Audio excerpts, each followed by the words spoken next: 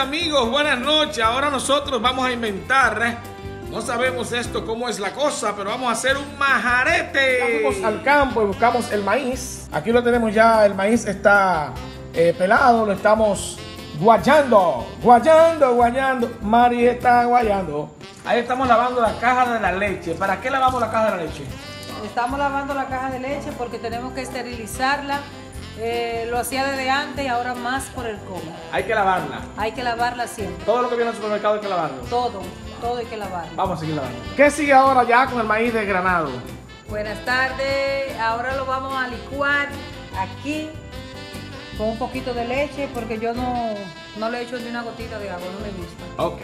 Vamos a licuar ahora. Y también junto con la leche echamos el maíz. Ahí está. Y estamos licuando.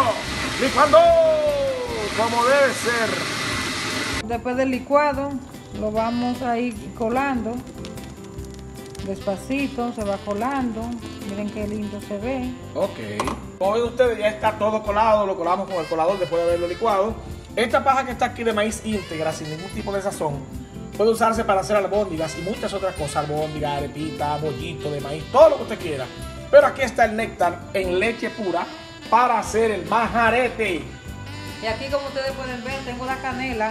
Yo la herví para que pueda botar la, eh, la fuerza. Ok. El espíritu que es que se le llama.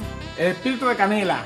Sí, para el majarete. Para el majarete, para que pueda quedar con más sabor. Y si no la canela se queda con su espíritu dentro. Entonces ahora vamos al fuego. Sí. ¡Fuego la lata!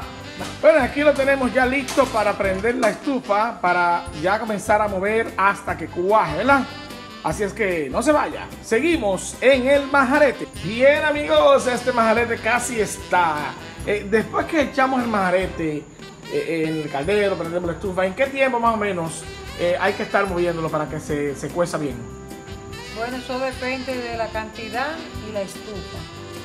Como esta cantidad es mucha, se requiere una media hora o 35 minutos. Ok, para que ya esté listo el majarete. Wow, se ve rico. Y media hora después, ya el majarete está listo. Ven ustedes el resultado final del majarete. Mírenlo ahí. Miren qué cosa más hermosa. Miren, miren, miren. Wow. Mírenlo ahí. Gracias por acompañarme a hacer este majarito. Espero que todo que, lo, que le toque, que lo disfrute. Los demás se quedan para la próxima. Y nosotros seguimos majareteando.